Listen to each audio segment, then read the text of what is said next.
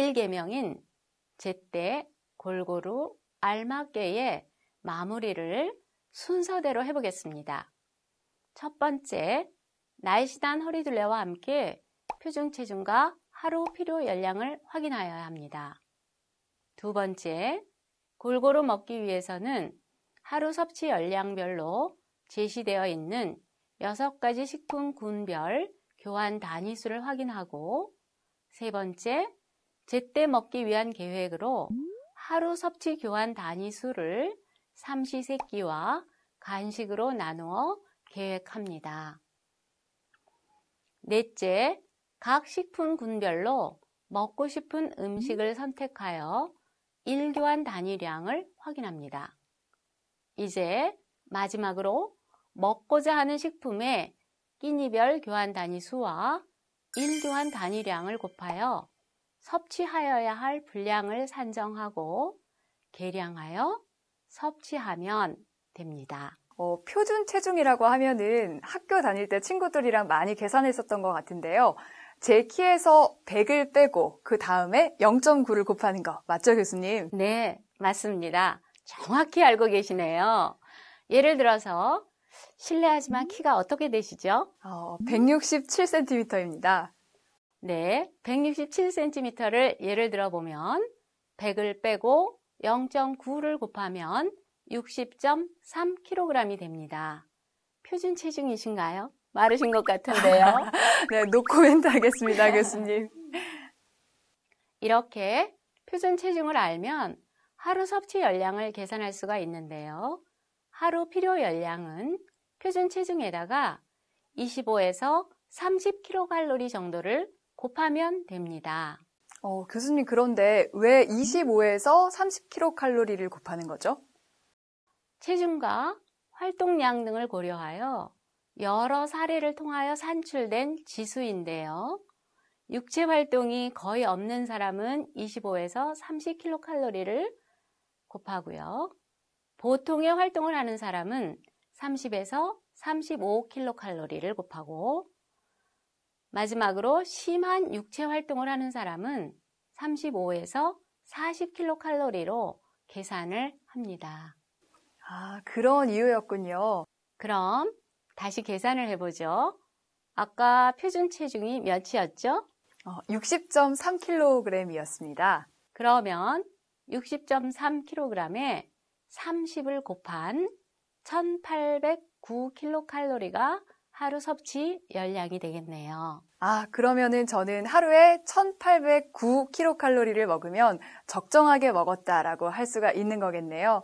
어, 집에 가서 적정한 식단을 한번 짜봐야겠습니다. 그리고서는 열량별로 6가지 식품군의 하루 섭취 교환 단위수를 확인하는 거죠. 예를 들어 하루 섭취 열량이 1500칼로리이신 분은 공유구는 7교환, 어육류구는 5교환, 채소구는 7교환, 지방구는 4교환, 그리고 우유군 1교환, 과일군 1교환을 드시면 일일이 열량 계산을 하지 않고도 하루에 1500칼로리에 알맞은 식사를 하실 수 있습니다. 이제 제때 먹기 위해서는 삼시세끼로 공육은, 어육육은, 채소군, 지방군을 비슷하게 나누어 식단을 작성하시고요. 우유군과 과일군은 간식으로 나누어서 계획하시면 됩니다. 네, 팀장이 그런데 일반 사람들이 이렇게 상세하게 먹기에는 조금은 번거로울 수도 있을 것 같습니다. 아, 포기하고 그냥 대충 먹지 이렇게 생각하시는 분들도 계실 것 같아요. 어, 번거롭게 느끼실 수도 있겠습니다만 여기까지의 작업은 한 번만 해두시면 다시 하지 않으셔도 되는 작업이기 때문에 이번에 잘 해두시고 지키시기만 하면 됩니다. 이렇게 각 식품군별로 끼니별로 나누어 계획하신 후 자주 드시는 대표 식품으로 끼니별 섭취량을 계산하여 잘 숙지하시면 쉽게 실천하실 수 있습니다.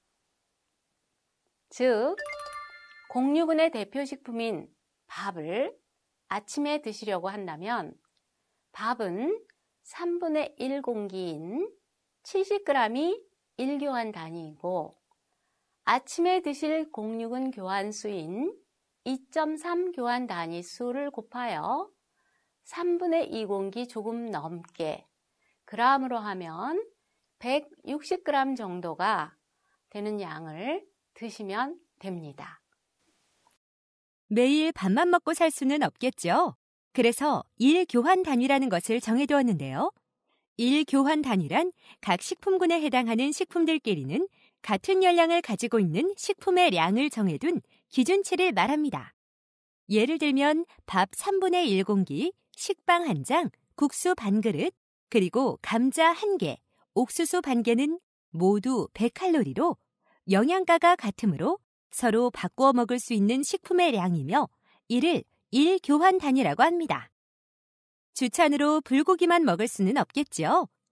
어육류군의 1교환 단위를 알아보면 쇠고기 40g, 가자미 50g, 굴 70g 등은 모두 50에서 75칼로리 정도로 영양가가 같은 1교환 단위량입니다. 우리는 이러한 1교환 단위량을 기준으로 맵기 다양한 식품을 선택하여 바꾸어 드실 수 있습니다. 이게 바로 각 식품군별로 세끼와 간식으로 대표 식품들을 계산하여 둔 1500칼로리의 하루 식단입니다.